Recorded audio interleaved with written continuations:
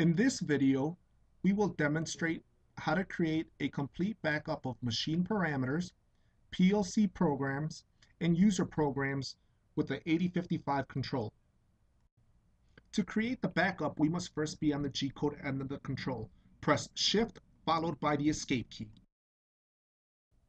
Now that we're on the G-code end of the control, from the main menu, press the F7 key.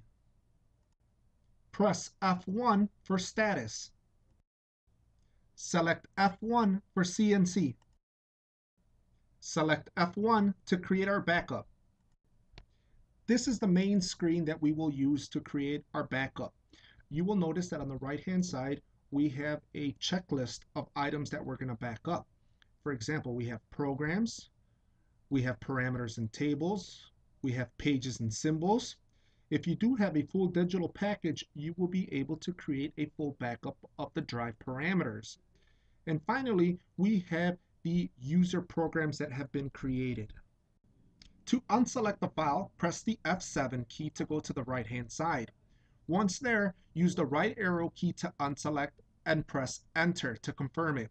In this case, we're going to go ahead and select everything. So cursor up, highlight programs, and press the right arrow key to check it off.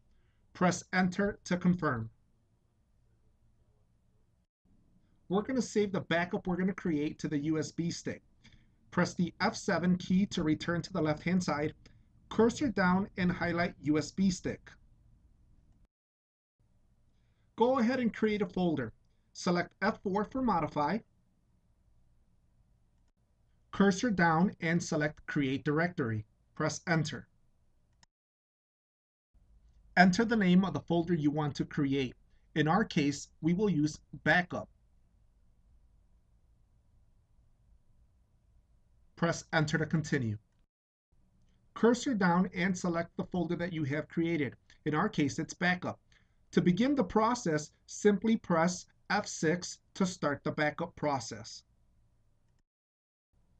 The backup could take anywhere from 2 minutes to 5 minutes to complete. In the interest of time, we will cut to the end of the process. Our process is now complete. At this point, we can remove the USB stick, uh, insert it into a computer, and if need be, is uh, view any of the files that are uh, inside our, our backup folder now. At this point, I'm going to demonstrate how to do a restore uh, using the uh, backup we've created.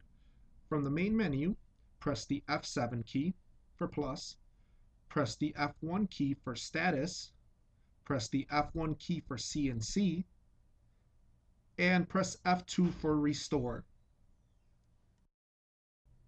At this point, we're back to our uh, restore page. Uh, you'll notice that on the right hand side of the screen, we have uh, everything checked off, uh, you know, programs, parameters, pages and symbols.